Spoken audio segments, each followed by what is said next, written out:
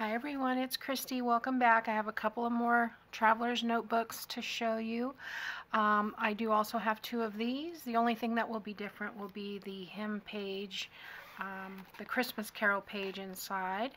Um, this is um, a kit that I used by Artymaze called Old Time Christmas that measures 8.5 by 5.5. I have a linen spine wrap here and organza ribbon closure. Um, I think it's about 40, about 40-ish pages, plus a bunch of pockets and things. So I've got some writing paper here. This is very similar to the other ones that I've been showing.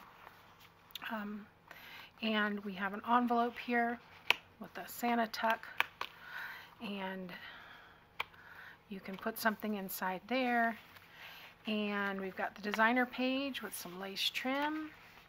We've got a banner tuck with the pipe smoking Santa. I've got a page for lists. This one has the first Noel and O Little Town of Bethlehem. Um, over here I have a coin envelope that is over the top of the page and it has um, a little booklet inside backed with coffee dyed paper.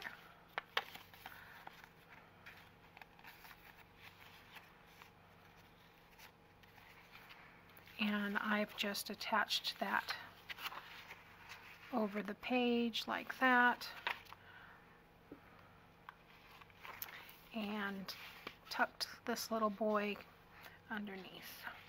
I've got another list page, got the graph paper with the flip out coffee dyed paper. The coffee dyed is a digital by Leanna Scrap. I'll have the links to all of these things below in the description box. Here's another designer page.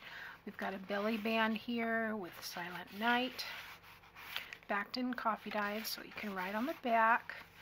Um, another list page, doily. Here's a pocket with a tag. And here's the center of the book. As you can see, it was sewn on the machine, so it does lay flat. Uh, here's another pocket and tag. Back of that doily, list page, horizontal belly band an insert. There's lots of room to add things, lots of room to write. Coffee dyed flip out. Here's a um, flip over for the page. This has writing on space on this side and this is just attached to the top with a paper clip so it can be moved wherever you'd like. More list paper. Here's another envelope with Believe and a little journal card inside. And I have that just attached over the side of the page with a paper clip. There again, you can be moved. And here's another tag inside the corner pocket. It's a flip up. And then we have our back page here with a large tag some um, writing paper that's lined on the back. And that's inside one of the larger pocket tags from the kit I have some more lace trim some flat back pearls and this one's really nice. And the back is just this more of what's on the front. And this will be available in my Etsy store shortly. All the links to everything and how to get in touch with me, how to find my Etsy store, how to find my Facebook group, all of that is available in the description box below. So, I thank you for watching, and I'll see you next time.